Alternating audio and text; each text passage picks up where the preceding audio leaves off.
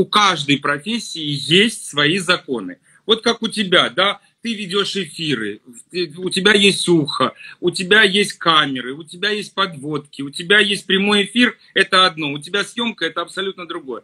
То же самое в балете. Балет – это, в принципе, прямой эфир. И прямой эфир, когда ты зависишь очень сильно э, от э, воли дирижера, когда тебе еще во время эфира надо переодеваться постоянно, тебе нужно здоровье, тебе где-то надо привести дыхание в порядок. А когда у тебя просто спертый воздух, у тебя есть 30 секунд, когда тебе надо восстановиться, потому что тебе через 30 секунд надо опять выдать очень тяжелые элементы, особенно идти в воздух или еще кого-то подбрасывать. Да, да, да. А ты, значит, отвечаешь не только за свое здоровье, но и за здоровье того, кого бросаешь. Да. Вот эти 30 секунд для восстановления воздуха... Это они... колоссально. Ну Потому... хорошо, а что, кроме тебя это, ты хочешь сказать, никто не понимал? Нет, никому это было не надо. И вот прошло 9 лет, как не было репетиционных залов в Большом театре, их так и нету. Как не было ничего у артистов, так и нету. Как Хорошо. Ничего так нет. Почему я тебе это все говорю? Вот, Леночка, и когда появились, э, когда мы были с тобой маленькие, молоденькие, появилась катастрофа со СПИДом. И так, в какой-то момент нам всем объяснили, что вот так надо предохраняться, вот так. Да, это очень тяжелая болезнь, но от нее можно предохраниться. И можно абсолютно спокойно контактировать с теми людьми, кто заболел и все так далее и тому подобное. Здесь нет правила, понимаешь? Это mm-hmm. И я тебе скажу так, что когда наступает ноябрь месяц, декабрь, у нас, Лена, просто вот в школах ты сегодня репетируешь с одним составом, завтра не приходит ровно половина. Просто выкошено. Потому что люб... в декабре обострение гриппов. И вот в этом декабре 2019 года у нас огромное количество детей болело этим гриппом, которые и все заканчивали воспалением легких. Лежали тяжело. Если честно, у меня вообще была эм, такая, э, ну, как бы точно подозрение, что я дважды уже переболел сам. Ой, ой. Знали об этом. Но дело в том, что сколько вот я не проверяюсь, уже больше полугода, да, уже получается, да, 10 месяцев да? Угу, угу. Я проверяюсь, у меня нет ни антител, ни положительного результата, ничего. Вообще все очень странно. Странно. Потому я устал, а так как я постоянно езжу в поездах туда-сюда между городами и так далее, могу тебе сказать, я даже устал предохраняться, потому что от гриппа ну, невозможно спрятаться, правда. Если ты, ну, есть вероятность, что ты заболеешь, заболеешь. Мне очень жалко тех, кто болеет очень тяжело. У меня несколько учеников моих, которые работали в Мариинском театре, болеют. Молодые Даже... ребята, замечу, молодые. 15-20 лет. И mm. один который был самый здоровый, который не болел ничем, лежал в больнице с ВЛ и дважды чуть не скончался. Ой, ой, ой, кошмар. Потому Честно тебе скажу, он не болел даже простудой. А ребята, с которыми он жил в одной комнате и живет, ну, как бы так, как вот, они не болеют. Слушай, хорошо, не будем о грустном. Такой вопрос. А, а. Вот ты должен, ты 21 год посвятил Большому театру. Ты сейчас доказал всем на примере своей работы – в своей академии, в академии, что ты великолепен, ты ректор, ты поднял просто с колен там все. Вопрос, ты доверенное лицо Путин был. Что еще надо, чтобы ты стал э, директором Большого театра? Я просто не понимаю, как, вот, ну, круче, я не знаю, что еще надо делать. Ты был первым, э, самым молодым народным артистом, заслуженным и народным, самым молодым. Но ты самый титулованный наш живущий артист. Вот что, какие качества нужны для того, чтобы быть назначенным э, на, на роль директора? какие нужны, но вот ты вот все, что сказала, при вот том, что у меня есть, да, Лен, Плюс еще при этом я же не только э, там танцевал и так далее. Я, у меня все-таки два высших образования. Я учи, я для того, чтобы быть руководителем, я закончил юридический. Ты пойми, нынешний руководитель Большого театра не имеет, ну как бы директор, ни музыкального образования, ни театрального образования, заочное образование ГИТИС искусствоведческое, понимаете? А он доверенное лицо, Владимир Путин. Да. А он тоже он тут. Ты посмотри. тебе это говорю. На самом деле, сейчас э, я не знаю, что вообще нужно, но э, такая обстановка в мире, да, мир, если честно, сошел с ума. А, катастрофа происходит не только в искусстве, катастрофа происходит между человеческими отношениями, катастрофа происходит а, между странами. Если все не вернется в руки профессиональных людей, все это погибнет к чертовой бабушке. Самое страшное в этом карантине, который произошел, Лена, это не то, что, ну, для, для нас, для культуры. Понятно, что болезни, все такое прочее, это тяжелая вещь. Но то, что мир наконец понял, что он может жить и существовать без искусства, виртуально. Mm ты, я тебе описать не могу количество нищих артистов без работы, которые сейчас находятся в мире. А, и, э, конечно, вот эти мегаполисы, такие как Большой театр, как Мариинский, которые просто сидят на шее у государства, которые получают гигантские деньги, гигантские. Я не понимаю, как может, я пример тебе приведу. А, дирижер Большого театра, играющий спектакль, музыкальный руководитель, получает за выход в оркестровую яму миллион двести тысяч. Ой. Да. Ой пианист, который от начала до конца играет прогон, получает 2000 рублей. Есть разница, Лена? Понимаешь, это называется не то, что называется цинизм, это называется катастрофа. Уже пора действительно проснуться, очнуться. В тот момент, когда во время этой пандемии мои коллеги в Большом театре мне писали, что они получили зарплату 8 тысяч рублей, 9 тысяч рублей, начальники получали по полтора миллиона. Чудовищно, чудовищно. И это Она... все входит в группу. Вот то, что ты сказала, я не знаю, где здесь э, брать, э, ну... Да, что еще надо сделать? коррупционный закон, например, да, когда э, мужья, жены, дети не могут работать под началом директора, там все можно. Никто не обращает внимания на некомпетентность, на непрофессионализм, на ужасный уровень спектаклей. Понимаешь, дело в том, что можно было абсолютно открывать сезоны, заранее подумав, тем более, что было много месяцев подумать, не делать многонаселенные спектакли. Можно было, есть такие, все возможно. Никто же не подумал. Сейчас в Большом театре идут спящие красавицы. У них в августе месяц умер педагог, которому было 82 года, от коронавируса умер. Они его вызвали 82 года, заставили вести урок, где было больше 50 человек в зале. Ой. Человека увезли с двусторонним воспалением легких, они скрывали, что у него коронавирус. И это все... Ой, это преступление. Почему я тебе сказал, да, наверное, нельзя э, здесь говорить, что есть какая-то система, что можно предохраниться.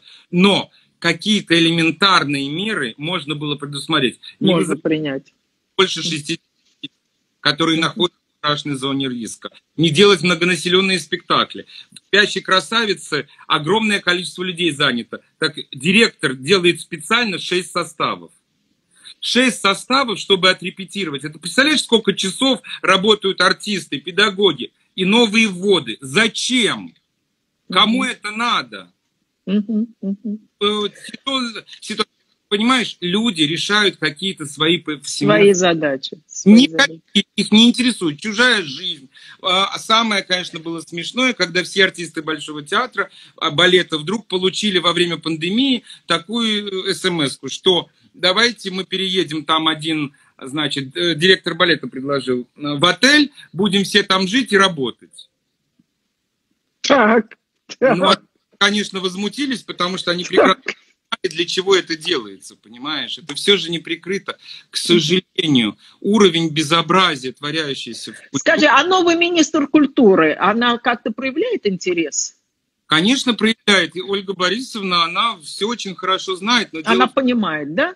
театр и Мариинский театр не в ведении министра культуры. Министр культуры делает а.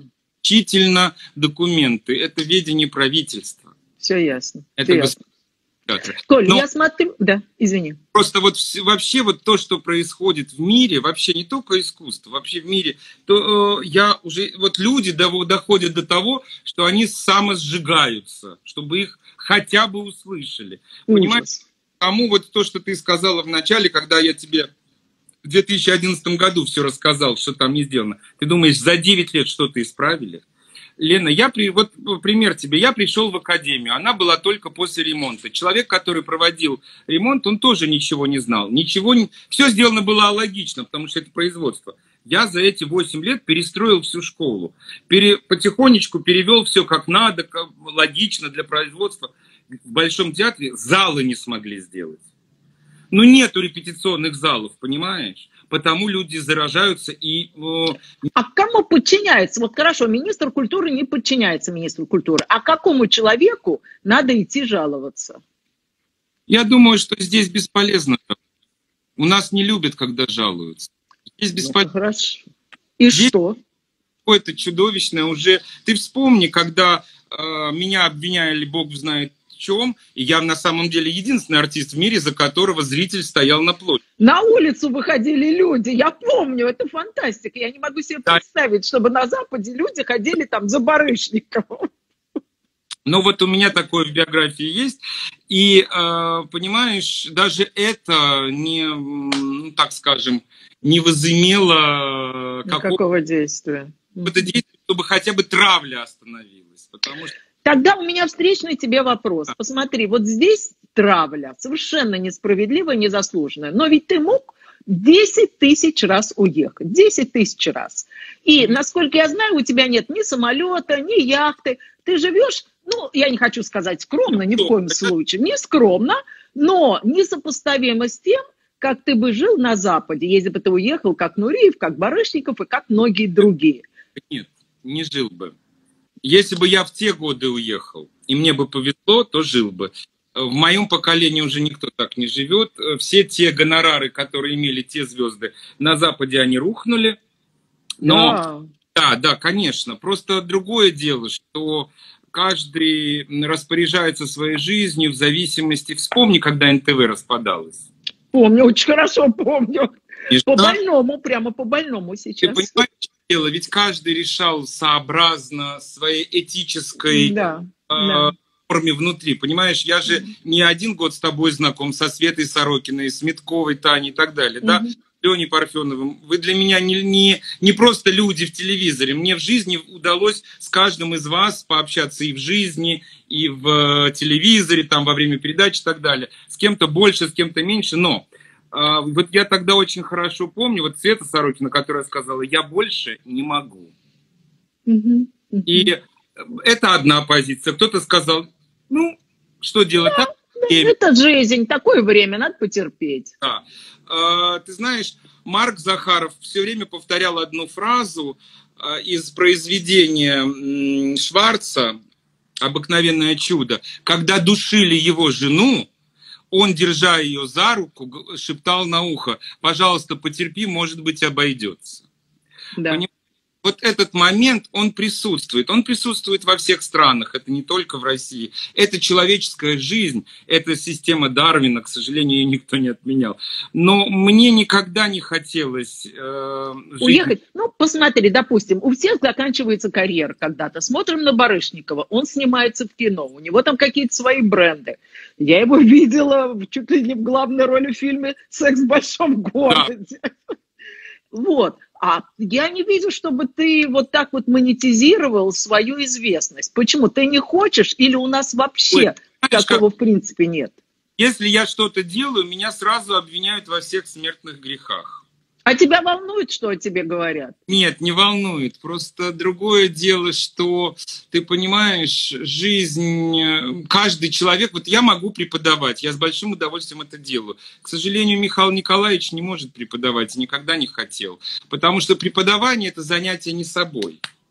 Это Понятно. занятие человеком. Другая понимаешь? группа мышц работает. Абсолютно. И, и, и ментал другой. Все а другое волнует, чтобы был центр Барышникова. Вот он занимался этим. Ему нужно, чтобы его имя закрепилось как бренд, как, да, да. Как, ну, у каждого же свой какой-то внутри, при этом, что он... Понятно. Хорошо, я тороплю, потому что хочу задать, у меня очень много вопросов. Сложный вопрос я тебе сейчас задам. Представь себе, что ты Э, в составе жюри международного конкурса балета. И вот вы смотрите, и в финал выходят русские и американцы. Напряженный момент. и выступают американцы блестяще, выступают русские блестяще, и вдруг ты видишь, что наши, ну, не очень удачно выполнили там поддержку, что-то там накосячили. И от тебя, в общем-то, зависит, э, какую ты поставишь оценку. Вопрос – ты поставишь э, высшую оценку или поставишь оценку, которую они заслужили? Другими вопрос, другими словами, что для тебя важнее, истина или родина? Лен, к сожалению, в моей жизни моя ученица мне очень правильно сказала, Николай Максимович, ваша самая большая беда э, в том, что вы всю свою жизнь ко всем относитесь по профессиональным качествам. И вас все время за это предают. Понимаешь, э, дело Дело в том, что эм, угу.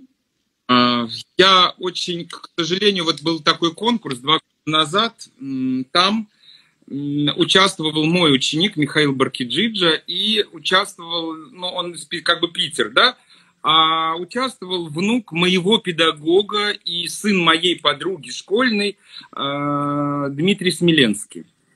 И когда мы ставили оценки, я ставил честно. И моему ученику то, что он заслуживает, и Дмитрию.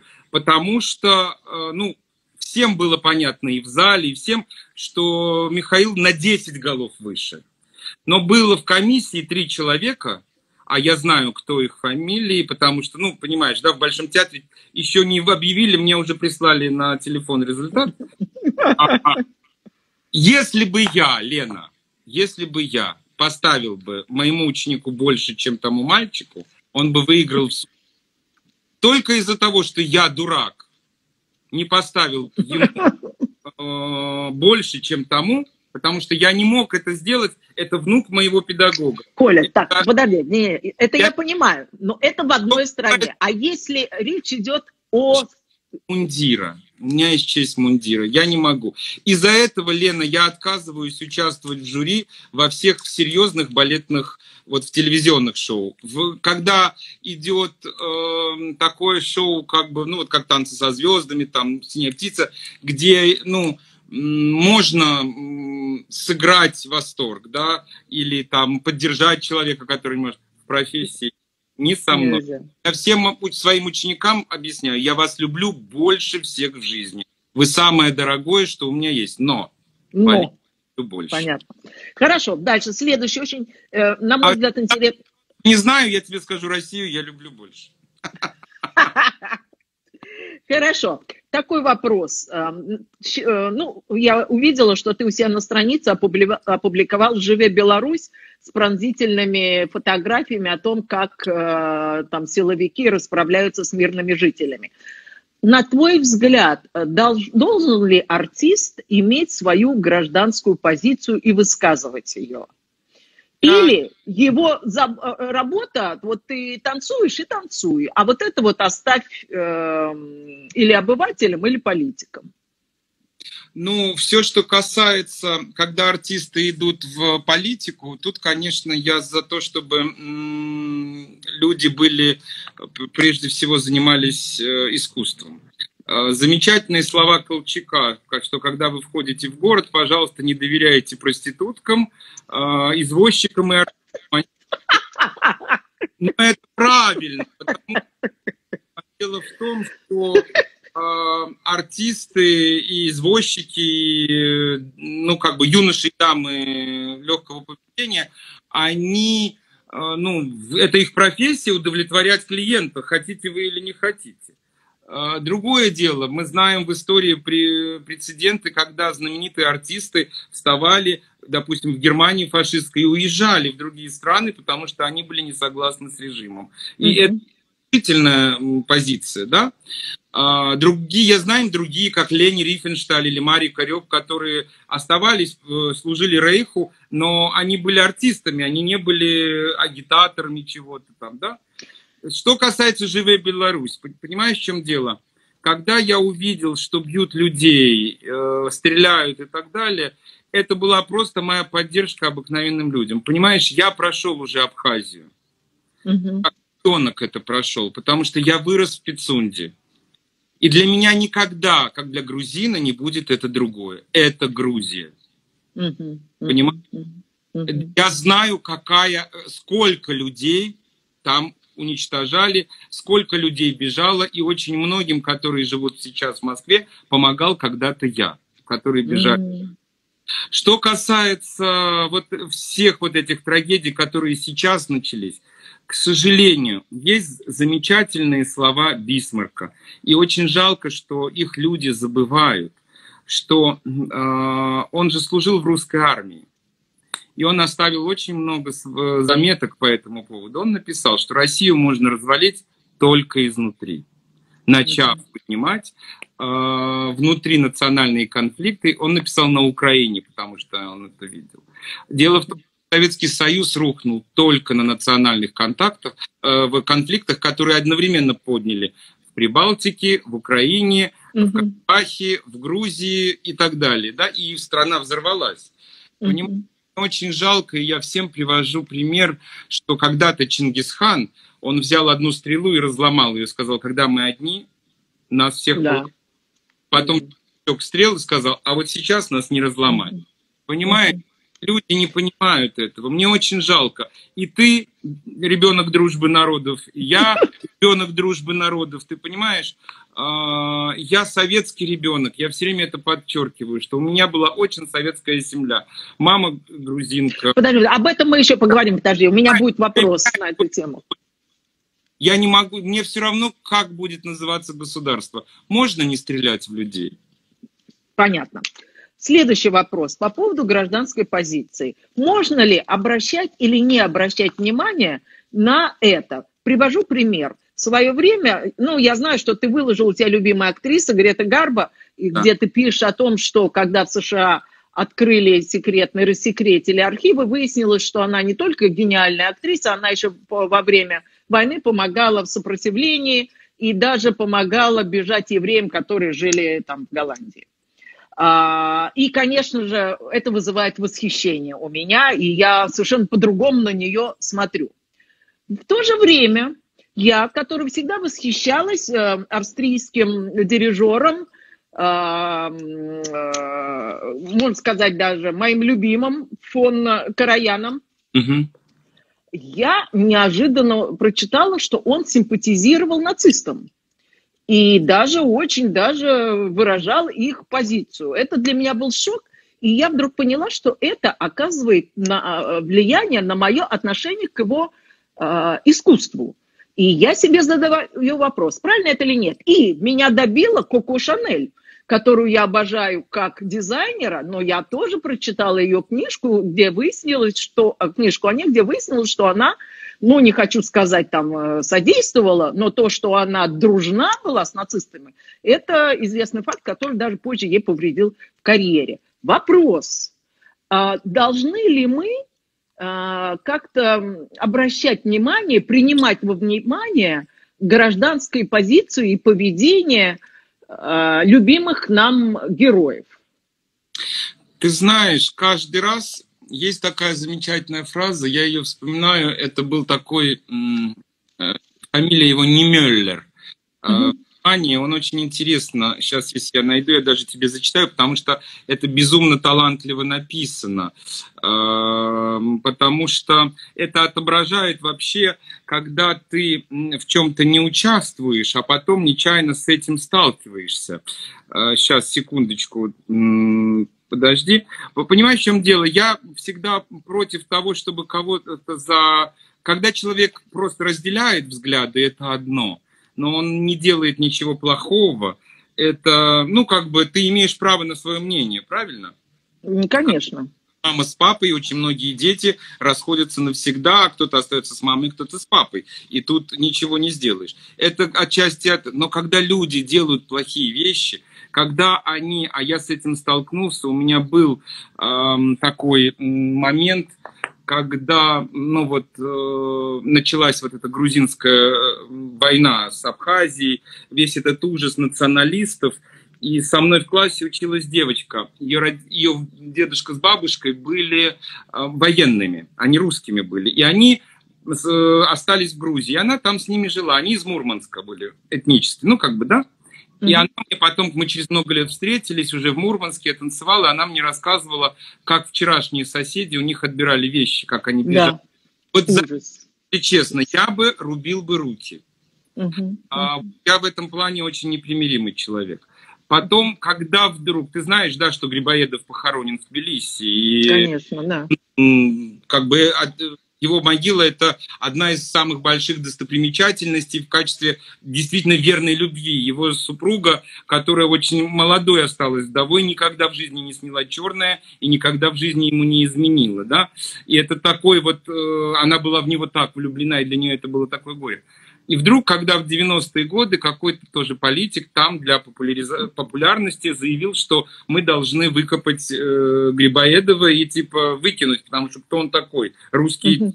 дипломат? Ты знаешь, меня это приводит, вот такие вещи меня приводят э, в дрожь, потому что я считаю, что это, это чудовищно. Чудовищно. Но есть, э, есть люди, которые разделяют мнение. Почему мы должны вмешиваться в их сознание? Главное, чтобы человек не переходил какую-то грань. Вот ведь дело в том, что, вот понимаешь, несмотря ты сказала, что я доверенное лицо, я э, руководитель и так далее, я не депутат, я не ни, ни за кого, ни за что. Я категорически всегда говорю, нет, ко мне не подходите. А если тебя будут просить подписать какие-то письма, если твоими руками будут пытаться сделать не очень э, Лена, благовидные я... вещи в своей жизни, когда вот это было вот, э, когда деятели культуры подписывали, поддерживая президента э, насчет Крыма. И да. понимаешь, количество людей, которые со мной устроили скандал, которые мне писали гневные письма, знакомые моя мама и так далее из разных стран. Я всем задавал один вопрос. Что там написано? Это письмо, я напомню всем, написано до э, событий в Донбассе и Луганске. Угу. Я говорю, что там написано такого, на что, что вас раздражает? Я отвечу. Никто мне не может задать вопрос, потому что никто его не читал. Да, да, да, да. И... Не, ну хорошо, я не по поводу Но... этого письма. Я это подписал, потому что я, я отвечал много раз на это, Лен. Потому что мои предки, все мои предки в 18 19 и 20 веке воевали в, в крымских войнах и всегда за Россию, в русской армии. Я Поняла. Просто... Ну, у меня был вопрос чуть-чуть о другом. Я, да. я тебя услышал. У меня был... То, что сказал Мартин Немеллер, это очень важные, важные слова. Когда... Ой, сейчас. Господи, только нашел и нечаянно... Нажал не на то. Да, сейчас, одну секунду. Вот. Когда нацисты пришли за коммунистами, я оставался да. Когда да я не был коммунистом. Когда они сажали социал-демократов, я промолчал, я не был социал-демократом. Когда они пришли за членами профсоюза, я не стал протестовать, я не был членом профсоюза. Когда они пришли за евреями, я не возмутился, я не был евреем. Когда пришли за мной, не осталось никого, кто бы заступился за меня. Угу, Он угу. был священником. Э, да. Понимаешь, да? И угу. ты знаешь, это очень важные слова. Когда начинают притеснять человека рядом с тобой стоящего. Это, э, я напомню, я выступал за Настю Волочкову только по, по одной причине. А у меня с ней были не самые лучшие взаимоотношения в тот момент. Я сказал, ее травили. Она моя коллега. На ее месте мы можем оказаться все. Я не допущу травли. Понятно, понятно. Мог много что, и все рассчитывали, что сейчас я первый против нее выступлю. Да. Нет, нет. Скажи, пожалуйста, э, ложь во спасение, и другими словами, можно ли совершить неблаговидный поступок для того, чтобы э, потом помочь и поступить благородно? Был такой фильм потрясающий венгерский, по-моему, назывался «Седьмая печать». И там э, смысл был, там длинная история, но фашисты поймали там коммуниста и двух еще. Один был бюргер, а другой был такой крепкий, сильный, ну тоже, по-моему, коммунист. И вот они избили этого вот э, коммуниста и говорят этим двум, мы вас отпустим, если вы подойдете и дадите пощечину этому человеку. И мы понимаем, мы зрители, что, конечно, этот бюргер даст эту пощечину, потому что вообще ему наплевать, там коммунист, не коммунист, он и уйдет. А вот этот вот сильный, он пощечину никогда не даст. Вот он умрет и не даст. И каково же было мое удивление, когда именно этот бюргер отказался, его там, по-моему, повесили, а вот этот вот, э, знаешь, крепкий орешек, он вдруг пошел и дал пощечину. И до конца фильма, когда уже пошли титры, вдруг мы видим, что вот этот человек, который дал пощечину, он идет в бомбоубежище, где маленькие дети, голодные, сидят и его ждут. Ну, то есть понятно, почему он сделал. Он пошел на подлость ради чего-то. Вопрос к тебе. Вот как ты относишься к людям, которые, может быть, поступают, э, идут на компромисс со своей совестью, но если они понимают, что за их спиной стоит театр, коллектив, да, за их спиной стоит там, я не знаю, больница или еще что-то. Вот можно ли идти на такие компромиссы с совестью? Если это компромиссы, разумеется. А, много знаю моих коллег, я думаю, что их имена ты тоже прекрасно знаешь, а, которые идут на всякие такие сделки э, с, так скажем, с режимом, как теперь принято говорить, а потом приходят в компанию и говорят, ну вы же понимаете, я из-за оркестра, я из-за... Да. Я да. это приемлю, потому что если ты это делаешь, имей совесть э, играть до конца, честно. А Но... что значит до конца? Ну, ты знаешь, я не понимаю людей, которые начинают...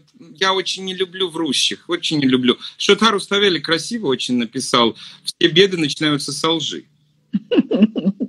Понимаешь, дело в том, что, Лена, я оправдываю всех моих коллег в театре, которые меня предавали, но они имели право, э, не право, а совесть мне, мне тихо сказать, Коля, прости, я не могу остаться без зарплаты. Никогда я им это не вспомню, и никогда, но те, кто... Вот я справлюсь, я справлюсь. Сейчас я Колю приглашаю. Еще раз.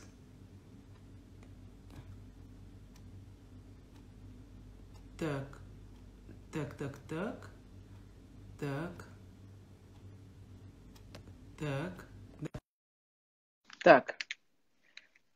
Ну, получается, ожидания. Сейчас мы ждем, чтобы Коля подключился. Вот, я слышу гол. Все, все, все, все, все. Вот, видишь, на самом таком моменте ты говорил о том, что ты простишь человека, который придет и честно тебе скажет. Коля, извини. Я не могу остаться без зарплаты, или я не могу э, не сделать там это. Я, конечно, э, это понимаю, и я разделяю, я, сам, я человек, но когда остается в этом пафос, что ты сам виноват, ты такой секой, здесь, конечно, нет. Я uh-huh. мирить.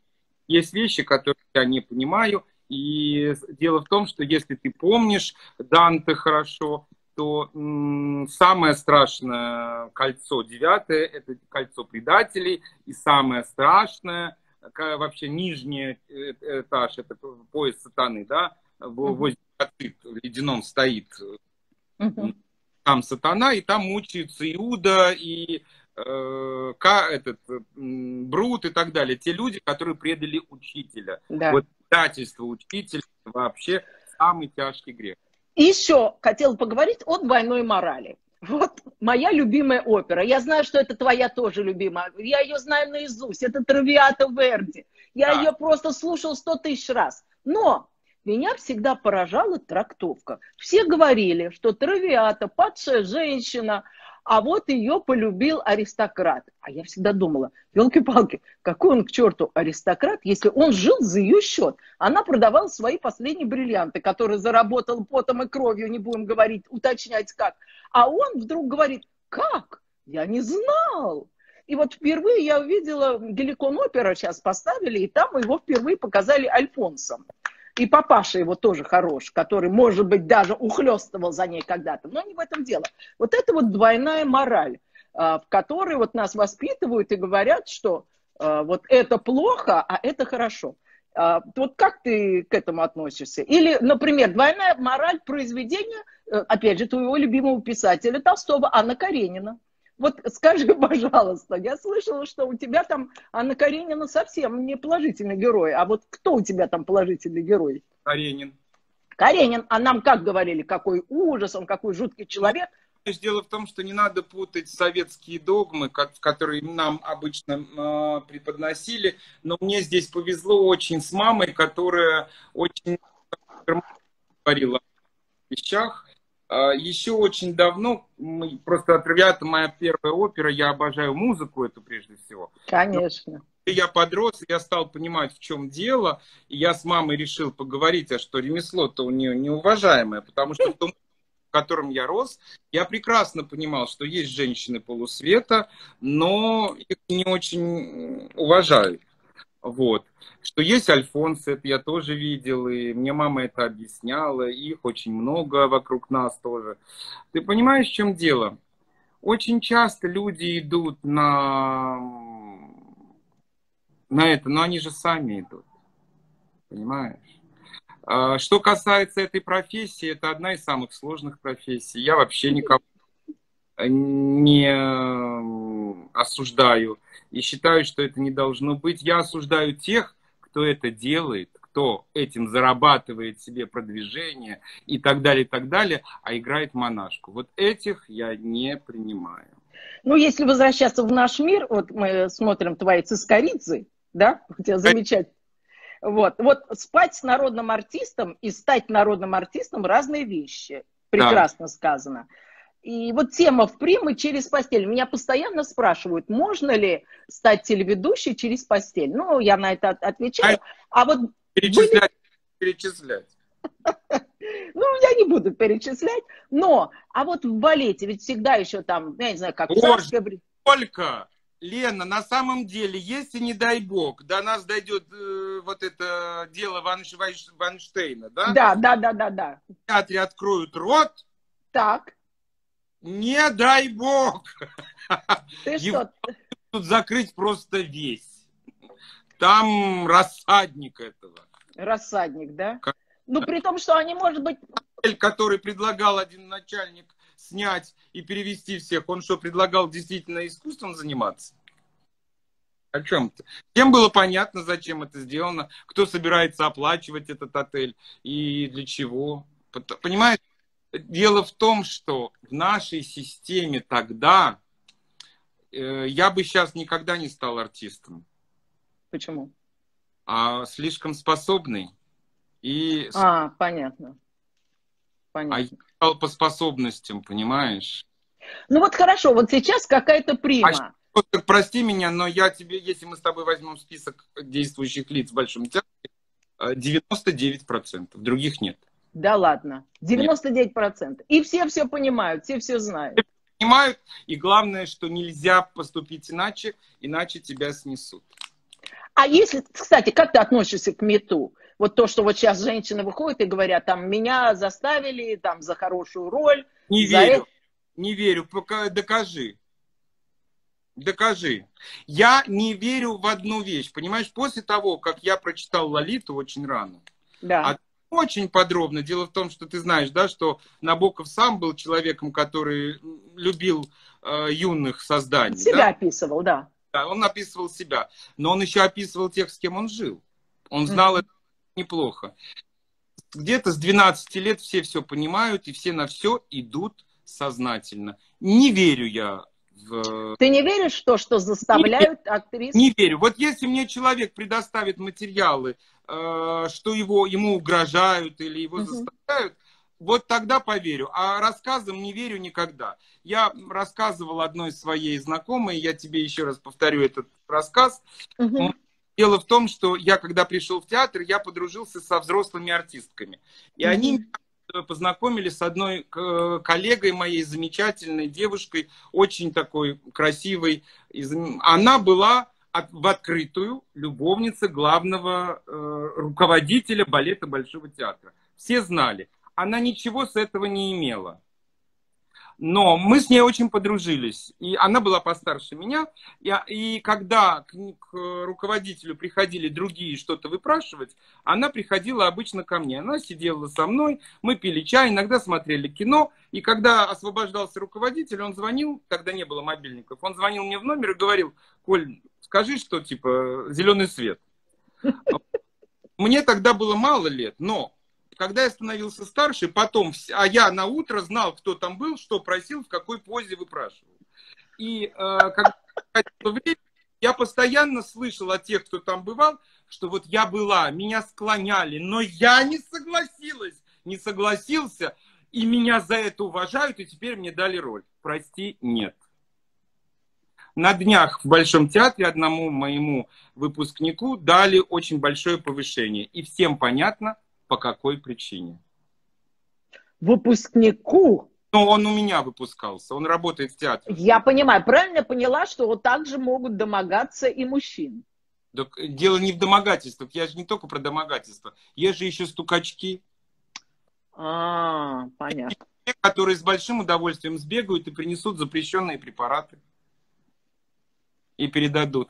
Понимаешь, потому вот эта мораль, вот этих я не уважаю. А те, кто честно приходит и говорит, моя цена 2,20 за час, это очень уважительная профессия, потому что это нелегкое ремесло. Вот, кстати, вот здесь не сачкуешь. Это точно. Слушай, вот у нас на телевидении одни и те же лица.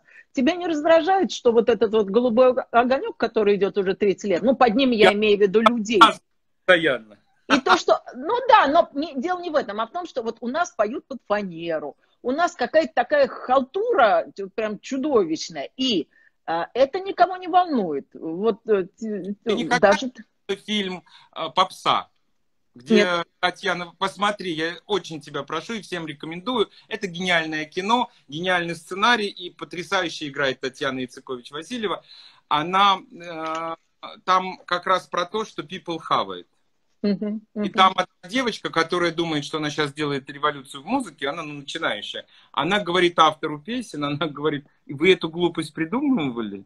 Uh-huh, Он, эту глупость слушают миллионы. Понятно? Дело в том, что не надо забывать, что есть продукт, он продается. И все. И все. Хорошо. Слушай, я знаю, что ты встречался с принцессой Дианой. Да. И у тебя даже замечательная фотография есть в Инстаграме. Как ты думаешь, вот я была, кстати, в Америке в 97 году, когда пришла эта новость чудовищная, что она погибла. И тут же страна разделилась. Одни говорят, что ее затравили, семейка, это королевская, другие говорят, что сама виновата, потому что она знала, на что шла, и поэтому потом не надо было значит, жаловаться и рассказывать, что от нее требуют чего-то, чего она не могла дать. На твой взгляд, надо когда играть по правилам игры.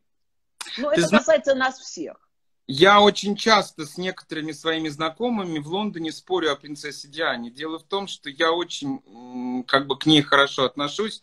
Она мне очень вот понравилось, потому что когда я ее увидел, я не ожидал, что она настолько прекрасна вживую. Фотографии и видео не передают ее очарование. Это действительно была очаровательнейшая женщина. При этом, что она была огромная, она была очень высокая и очень крупная. Но ты понимаешь, что здесь есть? Вот есть такая женщина, Елизавета II. Для меня это один из самых уважаемых образцов Ноблес Оближа. Никогда эта женщина не сделала ничего поперек протокола. А ты представь себе, ей 94 года, как ей хотелось. Муж гулял направо, налево. Дети вытворяли бог знает что. Сестра вывернулась наизнанку.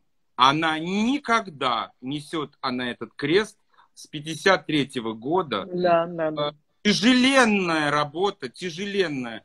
И ни разу эта дама не дала прокол. Может быть, мне не все нравится, э, что угу. она не внешне, но есть правила игры. Это как я всем объяснял, пожалуйста, я делаю что угодно, начинается моя работа, не подходите. На мою дорогу не заходите, задавлю сразу. Котя, дядя, ребенок, то угодно, ни в коем случае. Но есть, понимаешь, вот этот момент, честь имею, она поклялась на Библии. Угу. Она для меня безумно и, к сожалению, принцесса Диана, будучи безумно красивой женщиной, попавшая в чудовищную ситуацию, она не выдержала. Но, не, э, будучи аристократкой, она девочка не с улицы, да? Будучи Конечно. Она не могла не знать правила игры, когда ее брали, э, в том плане, не в том, конечно, она могла не знать об этом треугольнике, в который она попала, и в это испытание, но не знать о том, что нельзя открывать рот, нельзя делать такие-то движения и заявления, это, конечно, очень... очень... Она знала. Конечно, она знала.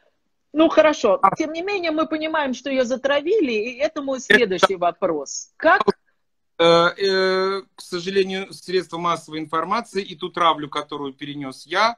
Э, вот, вот я хотела перейти к травле.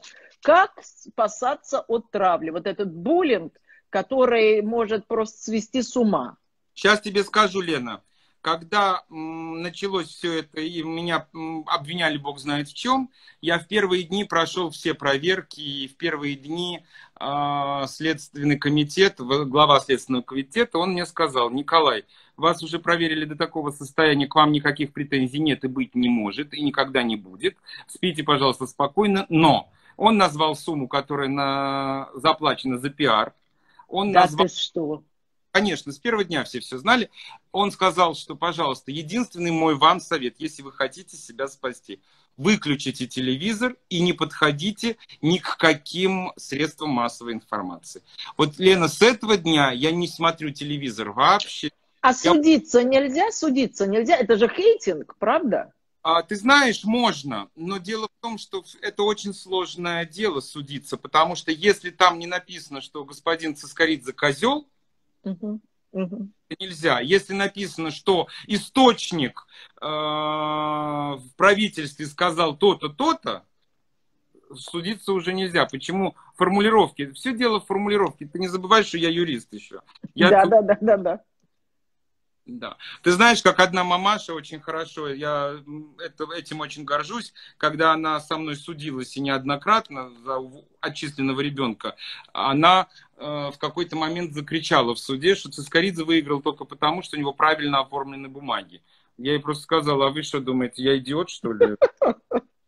Ты, собственно, Не... ради этого и пошел да. учиться на юриста.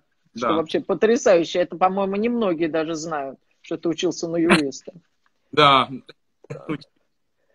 Скажи, пожалуйста, опять же, цискаризмы. Э, дочь прачки и двух рабочих.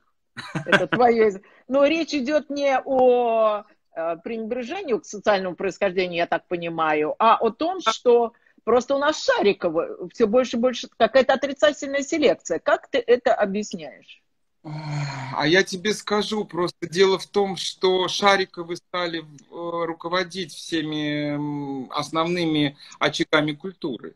Почему такой низкий уровень везде? Почему такие скандалы? Почему такие разборки в каждом театре? Возьми МХАТ такой, МХАТ секой, Современник, э, Моссовета, э, Ленком. Ад происходит. Большой театр там вообще не, не утихает все, потому что... А шариков везде. Профессионалов-то нету. И второй момент. Мы никак не хотим понять, что э, нельзя держать людей до смерти э, в руководящих должностях, особенно в искусстве. Ну нельзя. Категорически нельзя, потому что э, сме это должно сменяться. И я не просто так, понимаешь, и раньше мне все говорили, вот ты, ты так говоришь, потому что ты молодой. Слушайте, я день в день встал и ушел. И сказал, вон, танцуйте. По сей день ищут того, кто может так. Не нашли. Это их проблема. Но что нельзя, Лена, нельзя э, не думать о чем завтра. Я понимаю, что я скоро э, уйду, я приготовил двух премьеров. На сегодняшний день, я немного лет, два премьера Большого театра, это мои ученики, кого я вывел на эту роль, понимаешь? Потому что я, я отдавал им роли с удовольствием, потому что я понимал, я завтра не буду. А эти же сидят, слушай, вот... Цепляются, да. Посмотрите на этого руководителя, он же ничего не может, он не понимает ничего, у него катастрофа все время, полупустые залы. Я когда вижу все время полупустой зал в Большом театре, мне стыдно. Ты понимаешь, дело в том, что правда, в кассе все продано, потому что и все знают, что на площади Большого театра стоит тысячи человек, у которых продают билеты. Все знают, все имеют их телефоны и делают вид, что этого ничего нету. А зал полупустой, потому что за эти деньги люди не в состоянии туда попасть. Подожди, но они же и паспорт уже теперь проверяют. Уже вот, вот они как... Я умоляю, это все такое, знаешь... Понятно. Как, вот понятно каждый руководитель за нашу с тобой жизнь, если ты поднимешь прессу, да, ты увидишь, приходя на эту должность, говорил две фразы, что он поднял Большой театр с колен и решил вопрос со спекулянтами. Да, да, да, да, да, да. Которые стояли в моем детстве на этой площади, стоят по сей день. Я их всех знаю в лицо. Слушай, вот ты, вот твое амплуа, ты принц, ты аристократ, ну вот э, кто, э, ну вот для меня, например, в журналистике, это Володя Молчанов. таких у нас больше нет. Это человек с прекрасной речью, с прекрасным образованием. Вот почему таких людей сейчас, ну, вот таких не делают? Ну, во-первых, э, так не учат. Ты вспомни, или вас, как вас отбирали. Uh-huh, uh-huh, Во-вторых, ты вспомни дикторов советского телевидения. Да, да. Я да. когда встречаю Ангелину Вовк, я, просто она начинает разговаривать. Я замираю, красота языка необыкновенная. Кто сейчас говорит так по телевизору? Ну, а я... почему не требуют? Почему не требуют? И, ну, и в балете тоже. People-то хавает. Вот это гениальная фраза. People хавает. А что, раньше в советское время не хавали? А какой отбор был? Люди писали сразу, ты хотя бы одна статья отрицательная в газете, карьера сломана. А, Это не да. Ее сознательно, надо сказать, но, угу. но прислушивались к мнению народа. Угу. Ну, ты смотри, даже вот, пожалуйста, Инстаграм. Я безумно, ты знаешь, я же был противник этого всего. Я безумно благодарен людям, которые вдруг стали интересоваться то, чем занимаюсь я. Потому что когда меня стали просить остаться в Инстаграме, Лен, я сказал, я не буду писать про талант, я не буду писать про э, это, я придумал такое. Вот я стал писать о людях, о событиях, которые меня в жизни удивили, которые в моей жизни явились какими-то... Ну... У тебя потрясающе интересный Инстаграм. Просто какая-то энциклопедия, столько всего нового, интересного и с таким вдохновением. Фантастика. Ну Слушай, вот подожди. Он, что людям, видимо, это... И знаешь, сколько я получаю писем, что вы глоток воздуха. Спасибо. Да, все правильно. Я не ожидал, честно. Я правда не ожидал, Лена но кто-то должен это делать. А, такой вопрос, я тороплюсь. Вот твой любимый поэт Эдуард Асадов писал, кто, э, дел, э, кто думает, нет, кто умеет в будни быть счастливым, тот и прям счастливый человек. Это у меня вопрос по поводу, как быть счастливым и бороться с депрессией. Вот у тебя, я читала в детстве, у тебя стакан был наполовину пустой, правильно? Да. В детстве. Но, вот... Но это не депрессия. Он у меня пустой, потому что я все время знаю, я ничего не умею, я ничего не знаю, надо прочитать, я опять что-то не успел, я опять что-то не посмотрел, у меня куча книжек лежит у кровати, которые я не прочитал, потому он у меня все время полупустой. А что касается депрессии, да пошла она к чертовой бабушке. Я на их похоронах сам флыты скручу, на бис. О чем ты? А какая депрессия, ты понимаешь? Ну, Человек... тогда... а, он, я понял очень хорошо, мама очень хорошо говорила, если я начинал на что-то жаловаться, меня пароли первым. Она говорит, носику первый кнут. Ух ты, ух ты. А меня правда пароли, никаких это не, не, не выражений, меня пароли. И я приучился, жаловаться нельзя. Есть проблемы решить. Ух ты, ты Сейчас у тебя, мама мне говорила, я что, культ массовый сектор тебя развлекать? Вон возьми книгу, почитай.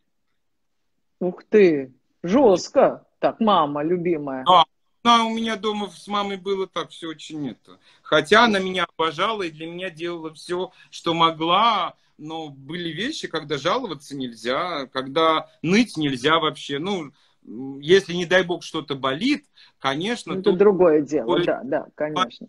Если это только не пальчик порезал, перевяжи. Понятно. Скажи, пожалуйста, вот последний вопрос, э, потому что там уже час у нас. Э, вот я всегда, и мне задают вопрос, как ты себя воспринимаешь? Ты русская, ну просто с черным цветом кожи, ну да, потому что они вроде как разговаривают, разговаривают, а потом так присмотрятся и... Ой, извини. Вот. И э, как ты себя видишь, как грузин, который просто живет в России, ну, долгий год живет, конечно, думает на русском языке, и тем не менее грузин. Или как э, э, русский грузинского происхождения, там, с грузинскими корнями. Я все время говорю одну и ту же фразу. Я ее случайно надо было держать ответную речь. Мне еще было мало лет. И я тогда сказал, что я очень горд в том, что я грузин по происхождению, что я россиянин по гражданству, и я русский артист. Ух ты! Ух я ты. никогда не буду другим. Меня вырастила эта культура. Меня научила всему эта культура, и я на сегодняшний день самый главный человек в русском классическом балете. От моего мнения зависит, как какое будет образование в будущие 10 лет. Я даже вот, по-моему, две недели назад, что ли, назначен э, главой УМО. Это э, центр, который разрабатывает стандарты в образовании, в культуре, ну, в танцах. Mm-hmm. Ты понимаешь, э, потому не быть, не то что благодарным этой, этой культуре, но с другой стороны, я могу, конечно, мне тут делали плазма ФРС в прошлом году, шесть раз меняли кровь, я могу сказать, как Екатерина II, что вся моя грузинская кровь вытекла.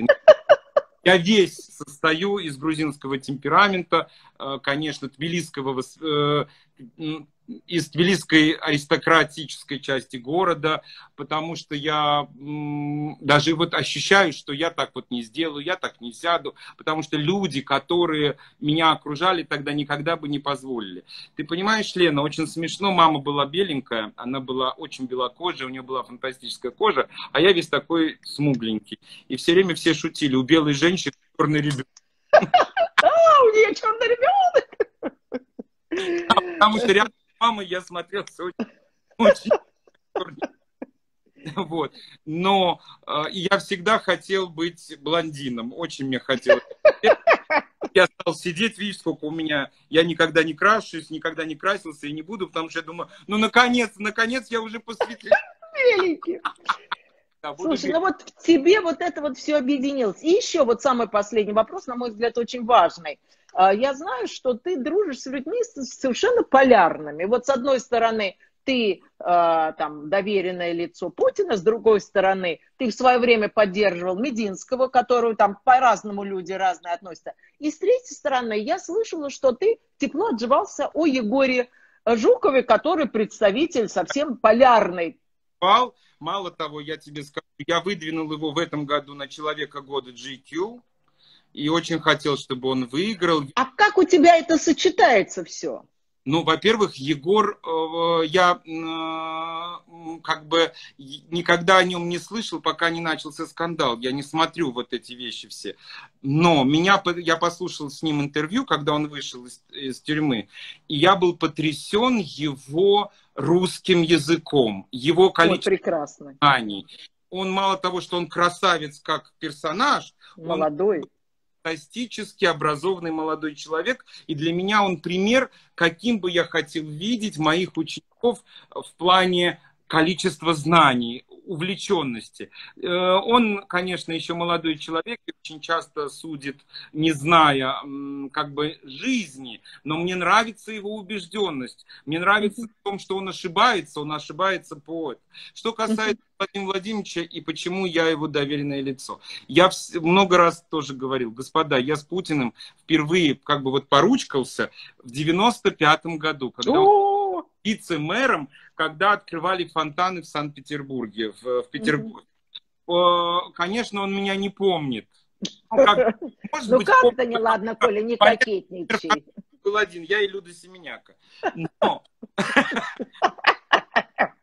встретились уже, он возглавлял кабинет у Бородина в 90, по-моему, восьмом или девятом году, вот, ну mm-hmm. и так далее. Как бы у нас была история встреч, просто там 3-4 слова, и когда он уже стал э, президентом, очень много мы с ним пересекались, потому что я танцевал все госвизиты. Mm-hmm. Mm-hmm. Из-за этого я постоянно был приглашен в Кремль на все возможные банкеты. Mm-hmm ты правильно сказала, я самый титулованный артист в моем поколении, да? Угу. Это, конечно, как, а когда я стал ректором и когда я стал работать, и в частности, я первый и единственный, кто создал э, филиал Академии, создал его во Владивостоке по поручению президента. Мало того, э, мне пришлось очень много с ним дискутировать, спорить и какие-то вещи отстаивать, а многие же люди боятся с ним спорить. Естественно. И, я тебе хочу сказать, что он меня поразил, что он, во-первых, меня всегда выслушивал, отвечал сообразно законодательству. Я, если бы не его пример, Лена, вот во мне последняя капля была, я пошел учиться на юриста, потому что меня потрясала в нем скорость ответа сообразно законодательству. Uh-huh, uh-huh, uh-huh. Этого нельзя. Надо знать норму, потому что норма все равно важнее. Uh-huh. Это принятый закон. Мы с тобой можем миллион раз сказать, что вот такой-то закон плохой но мы обязаны ему подчиниться, он принят. Я, может быть, он мне тоже не нравится, но я не имею права его не учитывать. Понимаете? Колю в депутаты, в депутаты. Коля, я пойду к тебе доверенным лицом, абсолютно без вас, бездна, то есть даром. Какой ты молодец. Ты, ты внушаешь мне и тысячам твоих подписчиков такое вдохновение и веру, что еще не все потеряно. И вот твой этот запал, уверенность, что вот вот мы всех сделаем, ты, ты Мне просто... Право не сделать, Лена, я верю всегда, что добро победит. Ты веришь, да, что добро победит зло, да? Да, я, э, его льдышка в сердце растает, обязательно. Просто другое дело, что она должна искать. Она да. должна искать. Если мы будем молчать, если мы будем смотреть, Большой театр гнить будет дальше. А я могу показать тебе фотографии, мне же каждый день кто-то что-то присылает. Как там просто грибок, как стоят ведра, как течет все. Как Ой, и так далее, понимаешь? Дело в том, что не надо путать хозяйство, а про творчество мы вообще, я молчу, ну, это за гранью добра и зла. А я почему об этом все время говорю? Это мой театр. Я один из тех, кто является большим театром. Потому мне не стыдно это сказать. До встречи в Большом театре. Все, спасибо. Спасибо, родной. Целую тебя. Пока.